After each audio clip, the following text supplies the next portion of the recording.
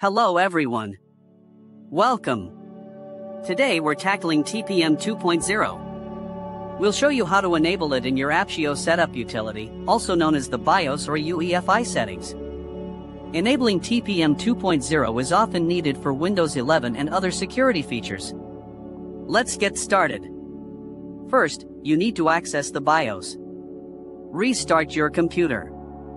As it restarts, repeatedly press the BIOS key. This key varies by manufacturer. Common keys are Del, F2, Escape, F12, or F10. Consult your motherboard manual if you're unsure. Once inside the Aptio setup utility, you'll navigate using your keyboard. Look for a security tab. Use the arrow keys to select it. Within the security tab, search for TPM, Trusted Platform Module, or Security Device the exact wording differs between motherboards. If you find a setting related to TPM, ensure it's enabled. It might be listed as enabled, activated, or PTT, Platform Trust Technology, for Intel systems, or FTPM, Firmware TPM, for AMD systems. Select the setting. Change it to the enabled option. Next, look for settings related to UEFI. Some systems require you to enable UEFI boot mode for TPM 2.0 to function correctly. This setting is usually in the boot tab. Check if UEFI is selected as the boot mode instead of legacy or CSM. If it isn't, change it to UEFI. Enabling UEFI might require disabling CSM compatibility support module. This option might also be found in the boot tab. Disabling CSM ensures your system boots in pure UEFI mode.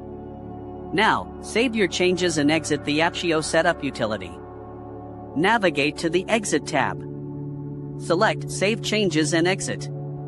Your computer will restart. After restarting, verify that TPM 2.0 is enabled in Windows. Press the Windows key plus or type tpm.msc and press Enter. The TPM management window will open. Check the status. It should say the TPM is ready for use. If it displays a different message, double check your BIOS settings. Ensure you saved them correctly. You might need to repeat the process. Sometimes a BIOS update can resolve TPM issues. Visit your motherboard manufacturer's website. Download the latest BIOS version for your board. Follow their instructions for updating the BIOS. Be careful during the update. Interrupting it can damage your motherboard. Successfully enabling TPM 2.0 enhances your computer security. It also allows you to install Windows 11. That's how you enable TPM 2.0 in Aptio Setup Utility. Thank you for watching. If you found this video helpful, please consider supporting the channel by liking the video, leaving a comment, and subscribing for more helpful tutorials. Your support really helps us keep creating content. Have a great day.